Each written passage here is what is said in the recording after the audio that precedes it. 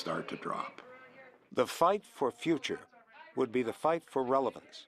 Unfortunately, a legion of proud student athletes in New York City would be the new era's whipping boys. About those who play college football, Grantland Rice wrote, When the one great scorer comes to write against your name, he'll not mark won or lost, but how you played the game. Trouble is, Bernard Goldberg reports, so few people believe that.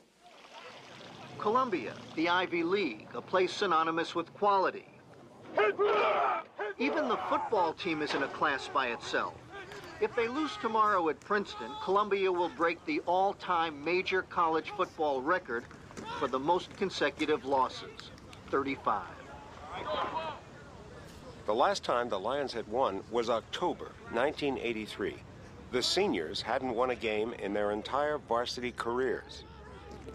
There were students who looked at us as players and mocked us, and uh, on a daily basis we'd take ribbing and ridicule, and it was not easy to deal with. I'd like to see him lose to Princeton just to have the streak. We've gotten this far, we might as well just go for the record. I mean, and be famous for something. if we can't be the best, why not be the worst?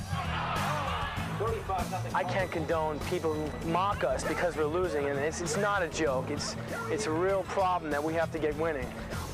Once we win, and once we get a really good program going, we're going to take all this media attention that we've been getting, and we're going to turn it around, and this Columbia's going to be the biggest thing I hit New York City.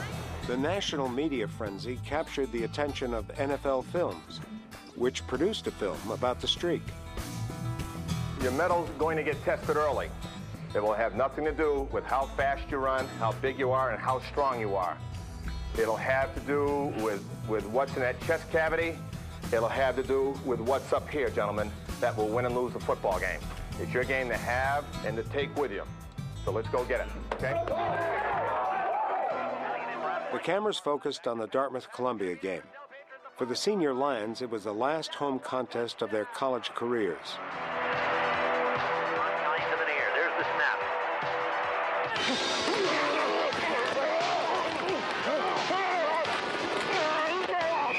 Matt Sodal played the game of his life, making 19 unassisted tackles and lifting the team on his back.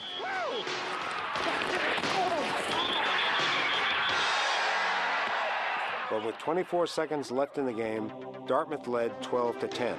God, please help me.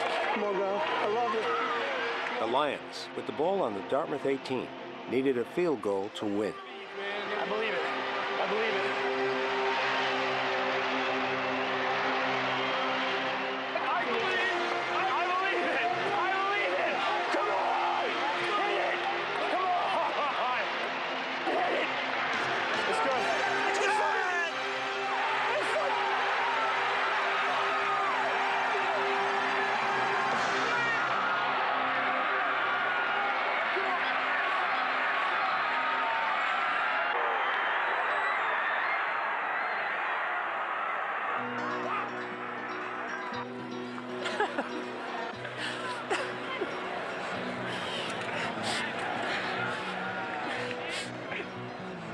And that was it, finality. And you say, I'm not playing another down in my life.